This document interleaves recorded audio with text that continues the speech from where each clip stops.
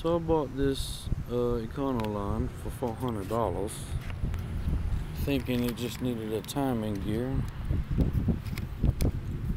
And I don't even know why I wasn't thinking.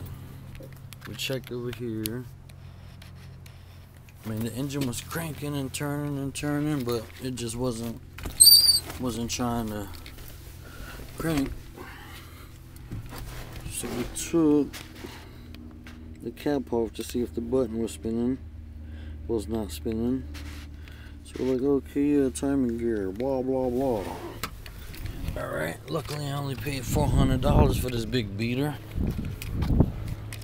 Scrap Scrapyard probably only give me like $5 for it now. Bullshit. so, I'm over here taking the radiator out so I can start getting to the timing chain. Then I noticed something strange. Do you see that? Oh. Hold on, it's coming.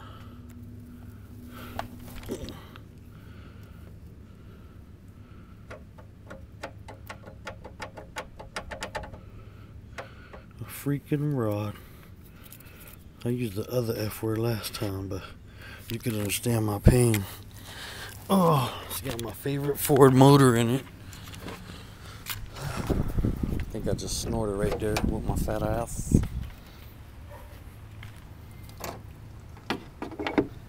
So, favorite engine, straight six. Right?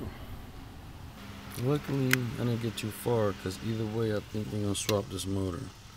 I found one for four hundred dollars, four hundred dollars, but I'm gonna have to uh, scrape up all my pennies, dig in the couch, uh, clean the car out, uh, panhandle for like two days, um, ask for uh, after Christmas early birthday present, call five lifelines and all that shit.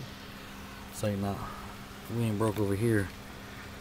I just got a bunch of stuff to sell. So my favorite engine, straight six, with a beat ass motor, and you can tell that the motor, that everything was going good, because the valve cover's been done, the oil pan, gaskets were done,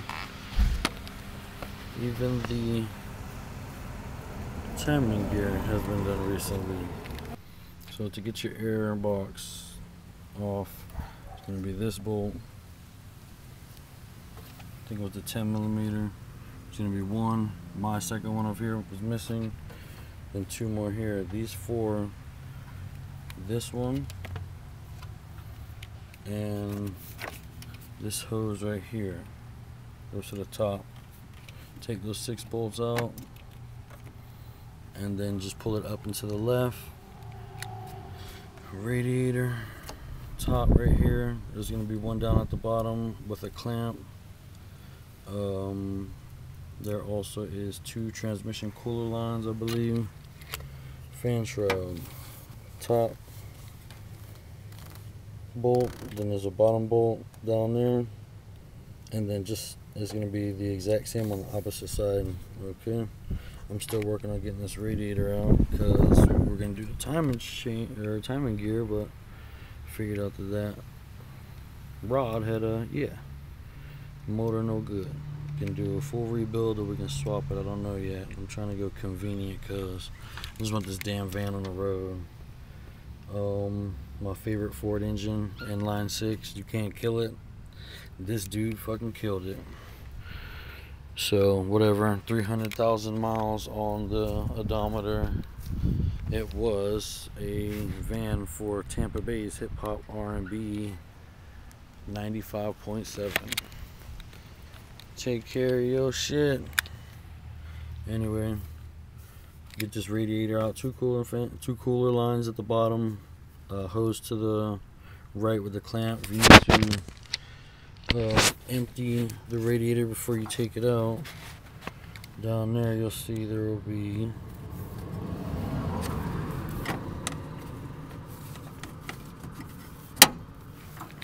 me change this angle.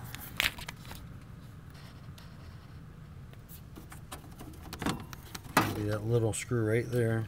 And all you do is twist it. And the more you twist it, uh, the more it comes out obviously, but you can bring it out the majority of the way and aim it straight down into your bucket. And then obviously take your cap off to let it breathe and empty itself out to ventilate through. Alright, we'll be back soon. So that's the bottom radiator hose. Take a big ass vice grip or uh, whatever you get to get it all. Uh, these are the two transmission cooler lines that need to come out. Then there's another small hose over here, small clamp.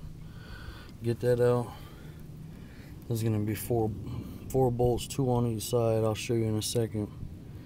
But I'm gonna get these two loose real quick. Check this shit out. I'm in Florida, Melbourne, Florida. I'll hop under here real quick, sunny as shit. It's raining. It's gonna rain.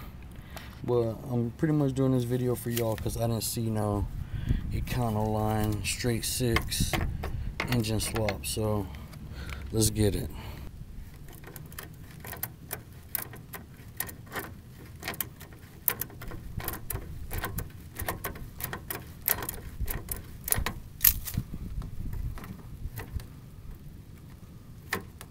Sorry for the shakiness video. I normally keep my shit professional, but I'm under here. One hand on this, other hand on the camera. Okay, there we go. Let that bitch hang. Alright, so we got the whole bottom of this. Now we just need to get the ones at the front, bring it straight out.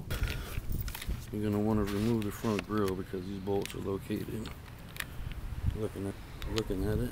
Oh one right there, which I don't think is the damn. I don't think it's the damn OEM because that size. Is? And that one. And yeah, that one. That looks OEM. And looks like my buddy already took these out when we found out that it wasn't the timing gear. Okay, so take those four out, should come right up. And to take the grill off for me, it was just visible. I'm sorry, screw, there screw, and that screw, three screws, and it was like these little slots right here.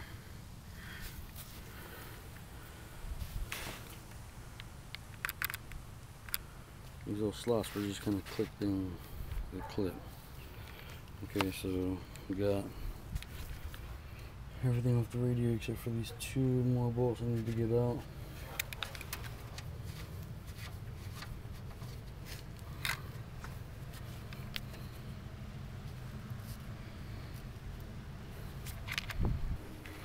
So I got the radiator out, except it was mounted with two of these funny ass brackets, so I had to take the four bolts that held it on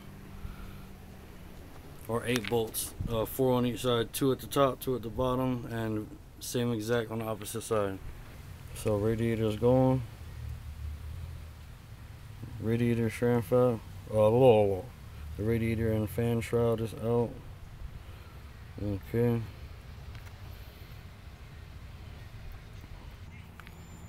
So right now I'm gonna attempt well not attempt I gotta do this shit. I'm about to take these screws out.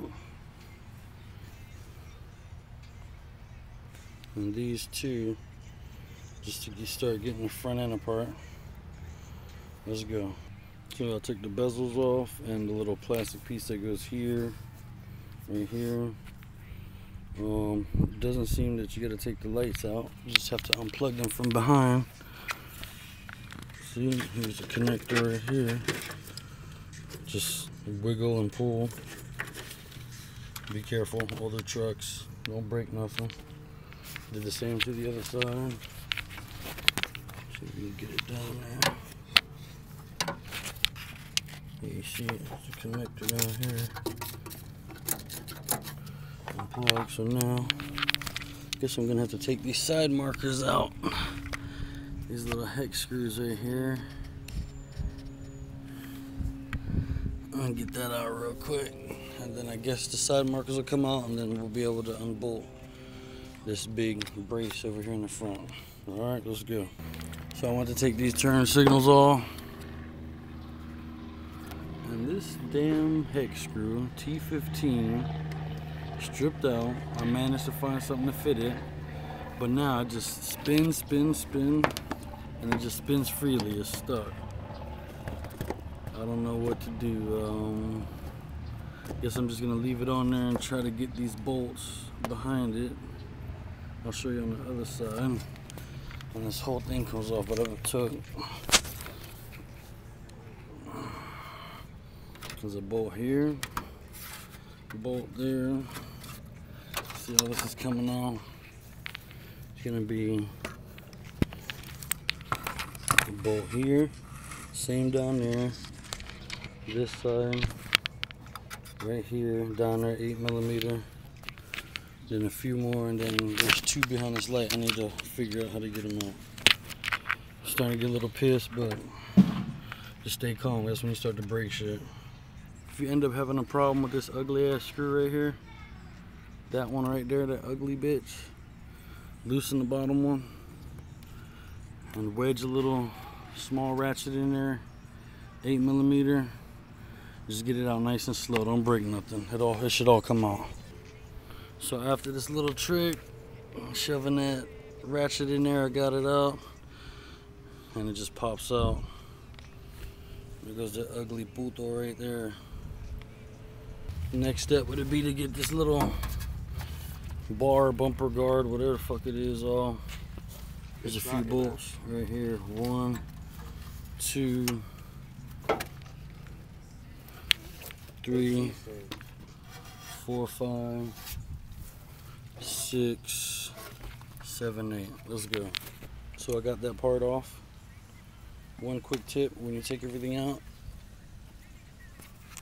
just throw those back into where they go so you don't lose them later. Now we're going to go ahead and work on getting this bumper off. To get the bumper off, there's going to be two bolts on each side on the back side. One on the top, one on the bottom. I'll show you this one.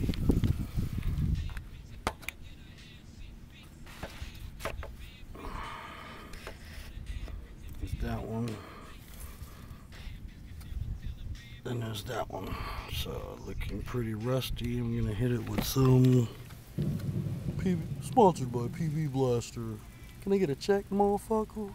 In my SpongeBob voice. Two hours later, not really, it was like an hour. This bolt right here started spinning on the screw, pissing me off. I tried wedging something in there so it wouldn't move, didn't work. tried taking the four bolts off that are on the bumper guard or the bumper cover. All three of them came out except for one because the fucking clip broke. Talk about a fucking headache, excuse my language. I was about to just throw a hammer through this bitch, but from the top, I just took that little Harbor Freight grinder in slow motion and cut that bitch off and the whole cover fell off and I was able to pull the plastic piece in between this screw and this nut. I put vise on the front and ratchet it the way the rest of the way out. Fucking yay. Anyway, bumper off, whole front off. I guess next I'm gonna take these off and then the hood latch so I can take this crossbar, I don't know what it's called, take that off. And then, uh, I'm probably not gonna do that now, I'm gonna do the starter, so.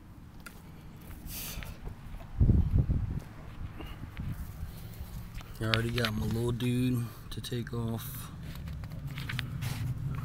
the starter wires. So now I'm about to take this top starter bolt off.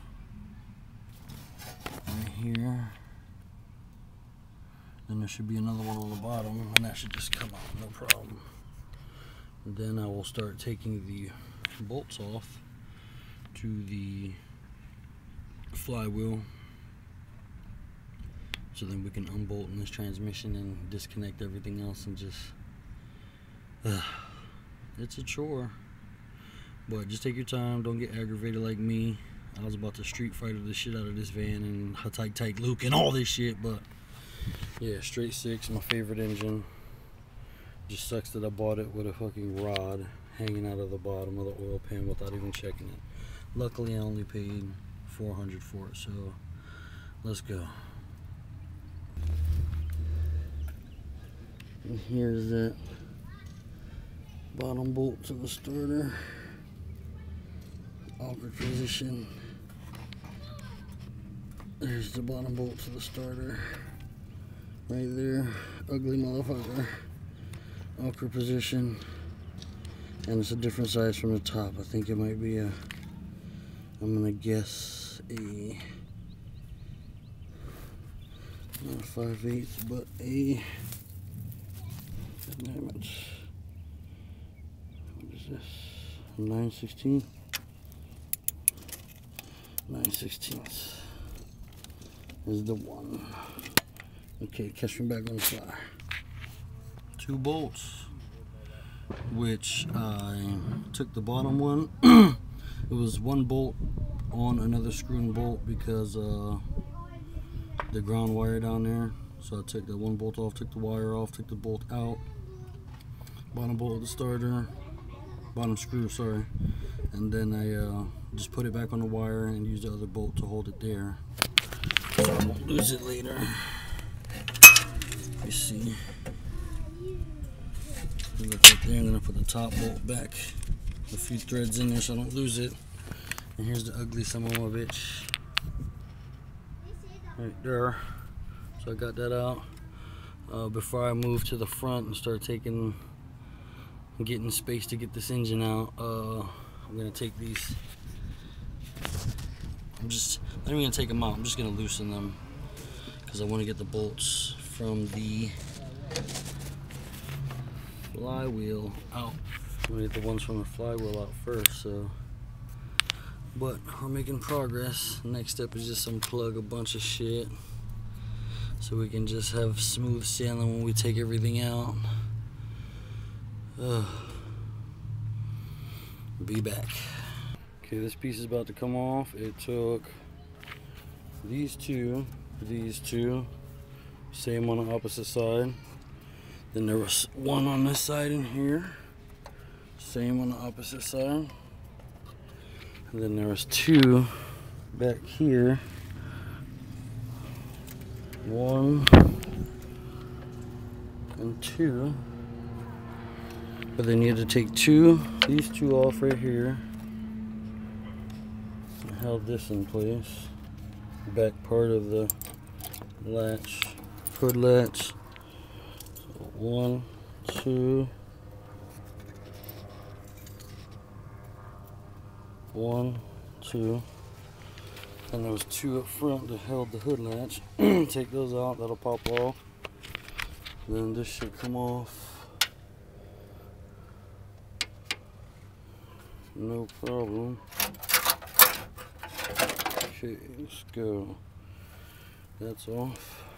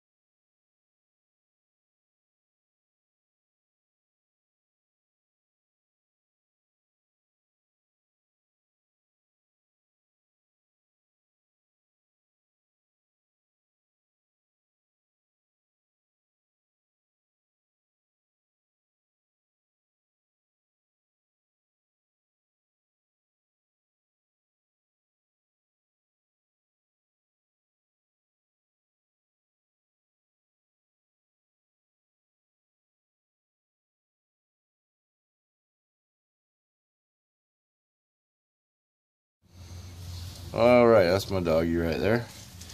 And this is my friend's 1996 Ford Econoline with a 4.9 liter inline six that we just installed. He actually put it in. I just did a little bit of the hookups. Um, the motor is um, 92, 94. Um, for anybody that knows these engines, we did not use the 92 or 94 ECU. We have the 96 ECU in this truck. So that will cause a problem. Number one, the EGR valves are different. We had to change that piping. Um, O2 sensors, front bank, you know, on both sides, one and two, are different. And there's another problem that will cause the engine to run idle really bad and load up really fast. And the problem is the crankshaft sensor. On these motors, the primary is not the crankshaft sensor, but it's the distributor. It runs off the camshaft.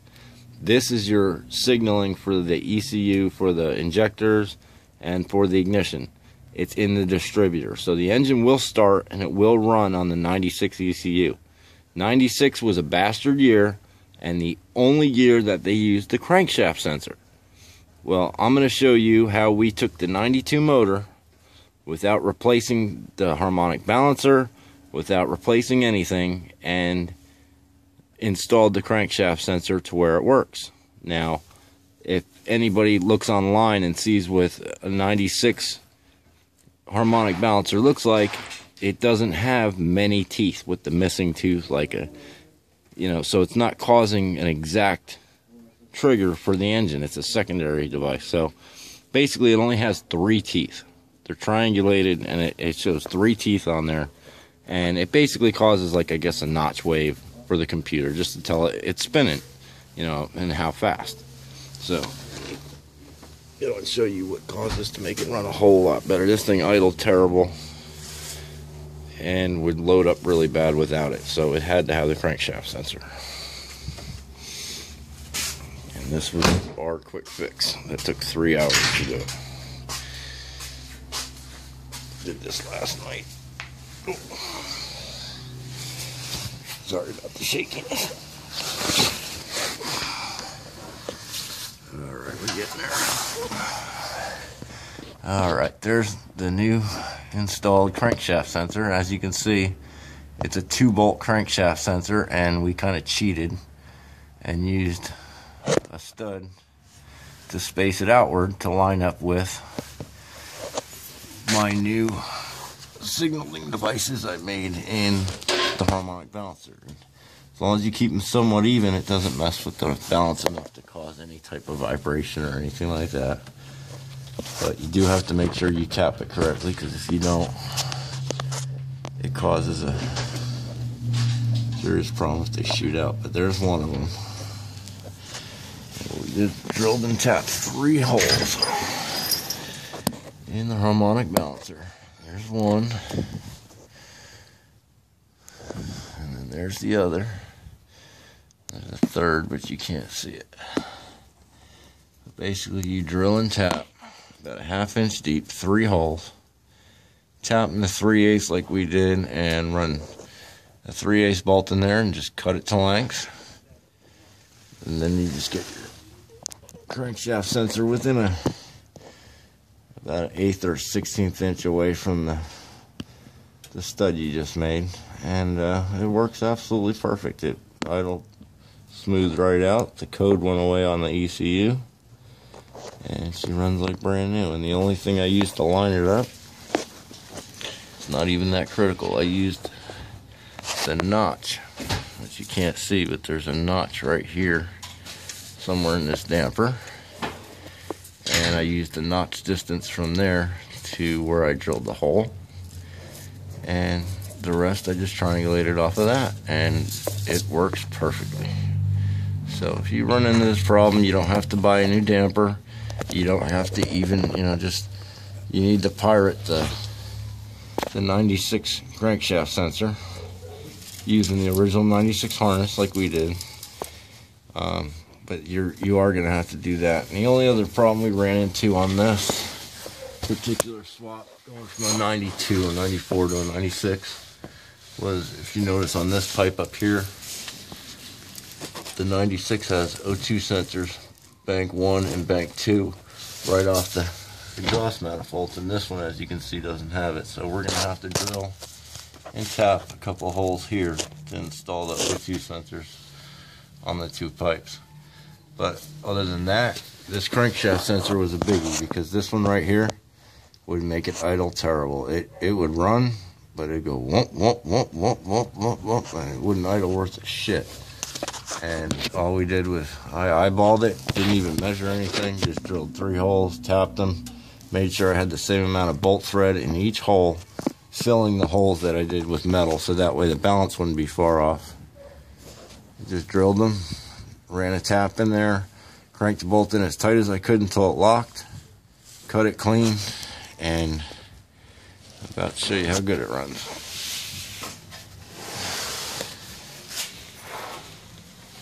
This one also removed all the air system off this car too. This doesn't have the EGR, doesn't have the air or anything that the, the 96 had air tubes in the head. Eliminated the entire air system because it's just a piece of crap. Just blows air into the exhaust below tailpipe emissions. And hell, it's Florida. You can make this thing a mosquito control truck. Won't even. Alright. Battery's about dead.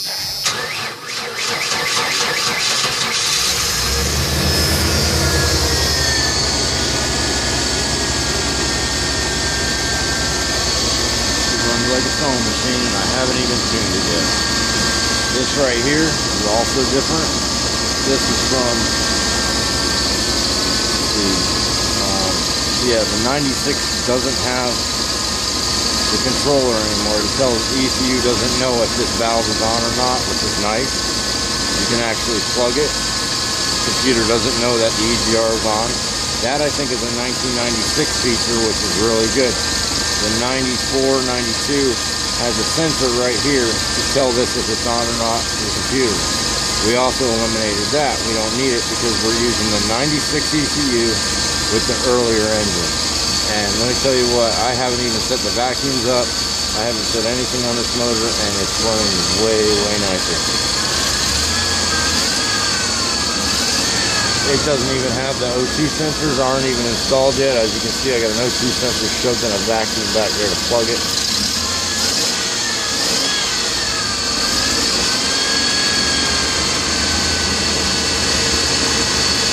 Yeah, that.